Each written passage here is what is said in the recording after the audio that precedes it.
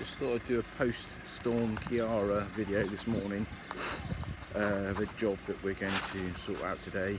Um, we're in Netheravon near Salisbury in Wiltshire and that, there you go, that's failed, that part of that cypress has failed. So the remaining tree's still standing but that bit's failed and it's leaning on the house.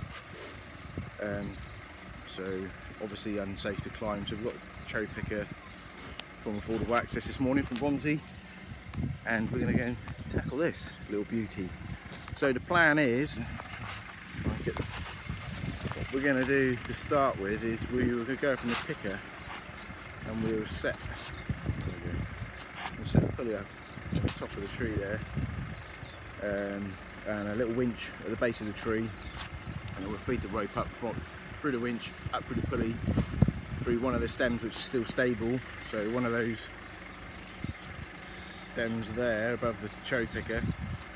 Find a, find a you know the most stable one, biggest one in there, and we'll put a pulley on there, and then we'll feed a rope from the winch at the base of the tree, up through the pulley across to the bits that are snapped out. So there's sort of two main stems there that snapped out, and then we'll just tighten the winch up and take some weight off of the house before we start sectioning it down, um, just so that when we start cutting it doesn't fall even further on the house.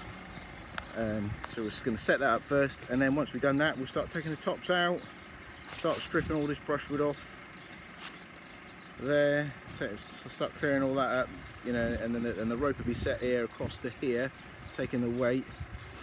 And then once we've done that we'll um, we'll move the rope down we'll slowly take sections off of this. Or potentially if there's not that much weight there we with a, with a, with a winch that we've got the GRCS good rigging control system we should might be able to pull it up pull the winch up and we might be able to lift it you know like, like this off of the house.